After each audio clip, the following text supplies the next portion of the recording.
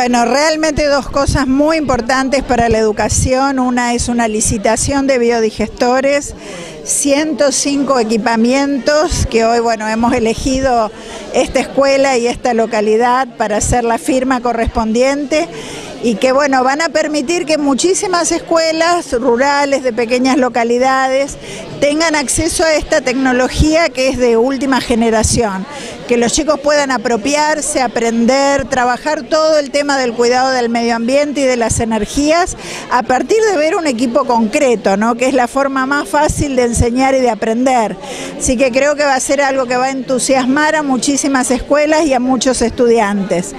Bueno, y por otro lado, algo muy importante que era la recepción del terreno que ha sido donado para la construcción del, futuro nuevo jardín que vamos a tener aquí en San Jerónimo del Sauce. Así que, bueno, estaban muy expectantes la directora del jardín, las maestras, por supuesto para los chicos y para las familias es una noticia muy, pero muy buena.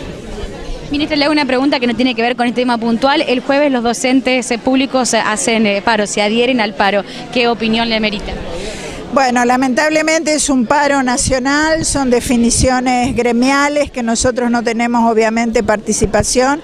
Lo que sí siempre lamentamos que se pierda un día nuevo de clase, ¿no? Para nosotros eso es realmente una pérdida importante. ¿Se va a tomar algún tipo de medida o no?